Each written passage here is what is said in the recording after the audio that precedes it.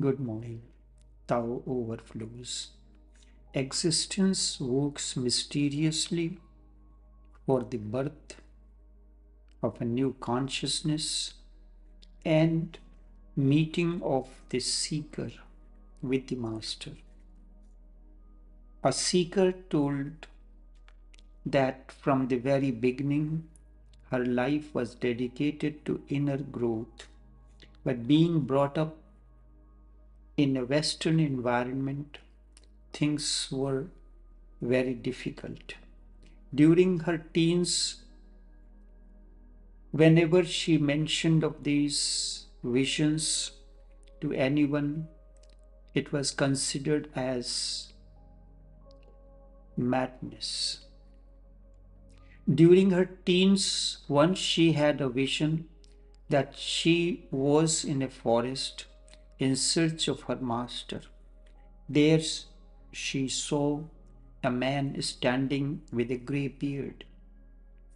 Pulled towards the person mysteriously, she inquired his name. In response, the hoary headed person told his name as Tao. This surprised her, as the person looked Indian in his appearances but told his name as Tao.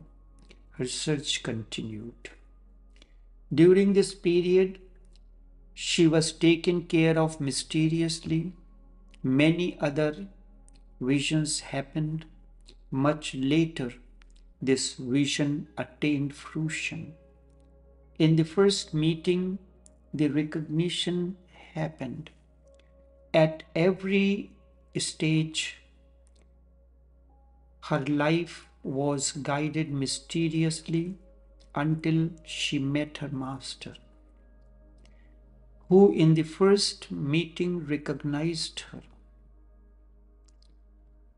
This is how mysteriously the existence takes care of the seekers who are chosen to carry on the work along the path of spiritual development. Sufis say the master appears the moment disciple is ready.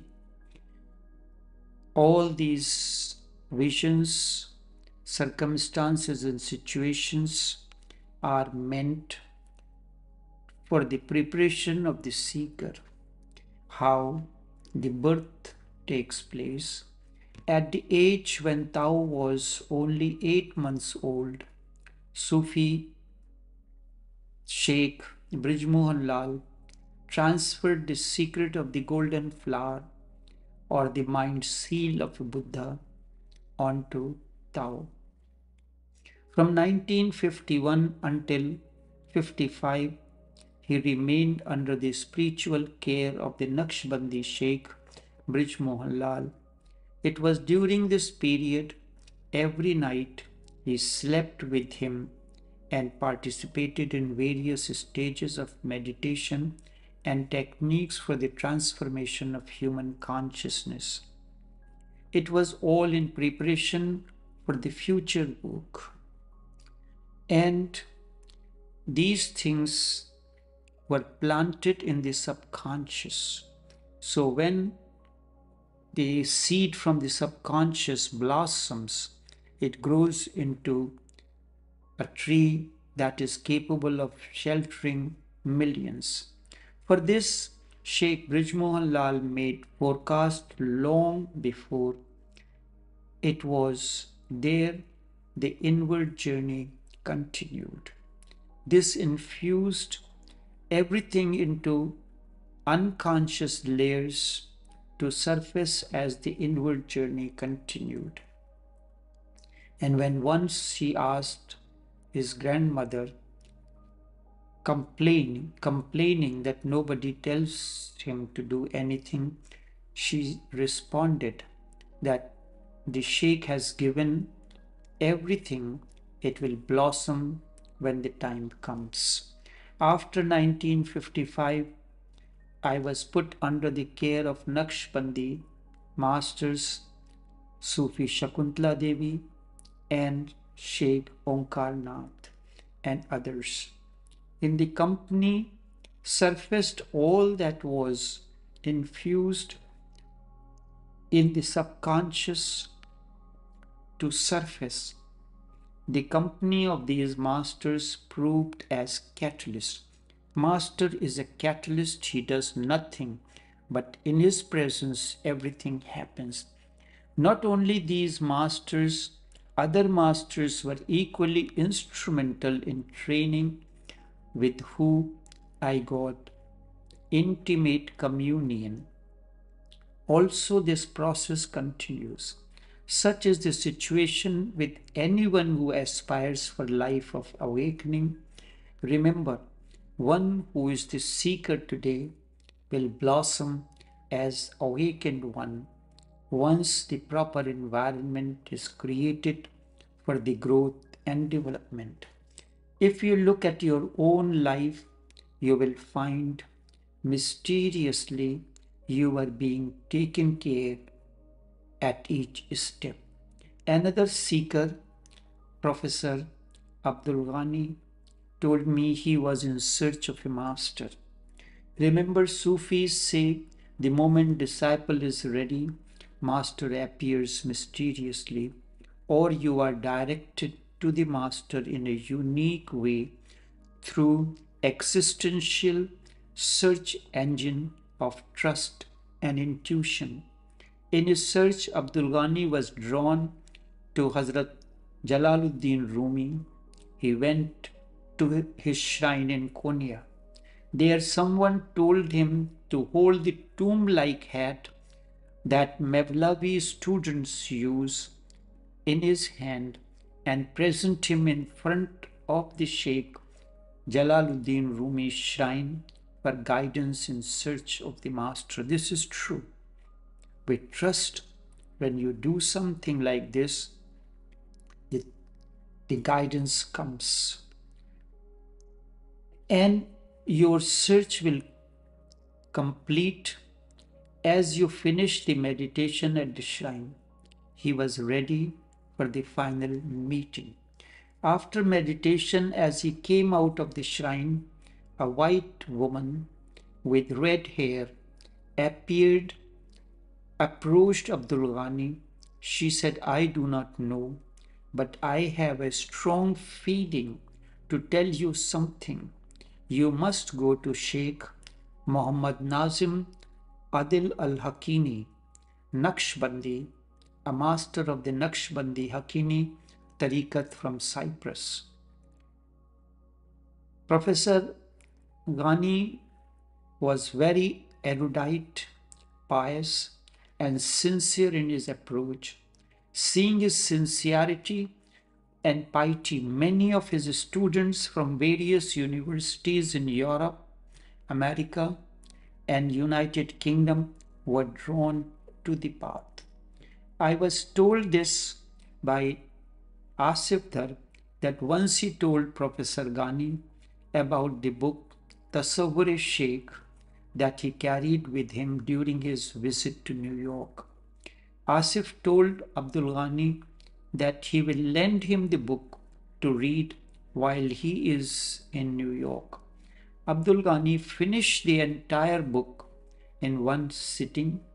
Such was his dedication for inner growth.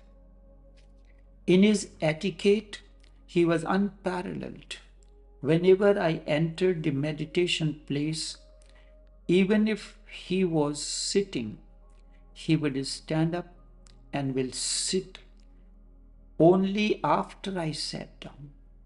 He was quite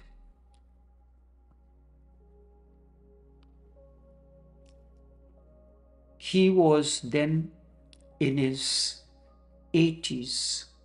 Another seeker from Sweden, Lars, told a similar story of his visit to the shrine of Hazrat Jalaluddin Rumi.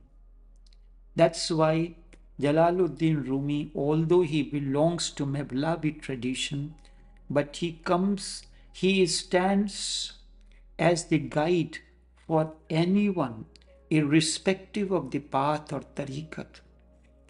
He is that master who guides like the Khizr salam, he guides every seeker along the path, or the Hindu wandering sage Narad, who guides every seeker irrespective of his path or so. That's why I was indrawn to Hazrat Jalaluddin Rumi. And in some of the works, I use the works, use the quotes from Masnavi at the beginning of each chapter. this story is from Lars from Sweden who told me this story about his visit to the shrine of Jalaluddin Rumi and how he met his master. He came to know of Tao, so he decided to send him a letter with an intention to see if Tao is authentic. He thought he will respond to the mail and there is nothing wrong in writing a letter. No sooner the letter was received, it was responded in a matter Lars could not believe. Another person complained, Why did you leave me uncared for so long? And why did you take so long? I have been waiting for this kind of intimacy for a very long time, not only in this life, long before, even in the previous one. You need to trust the energy that flows within. I have many a times mentioned there is a power within that knows beyond our knowings. We are not aliens nor as strangers join we are bound to each other by a causeless force. This causeless force works in a mysterious way. You need to trust this and flow that flows within. This energy represents existence and guides you during such moments, but in a very low, audible voice. You have to listen to this voice in the silence within. Remember, this power, this energy within that knows beyond our knowings always guides. Once you trust your intuition, your path will be clear. I recall an incident. Once Sheikh Nath arranged for a trip to the shrine of Sheikh Abul Hasan Nasirabadi, the Sheikh who predicted the advent of Lalaji and Chachaji hundred years ago. A bus trip was arranged. The shrine was very unknown in a remote corner and unrecognized. The Sheikh told me to go ahead of the entire group and locate the shrine. A doubt came to my mind. How will I recognize the shrine? I am not, I do not understand the Urdu language even.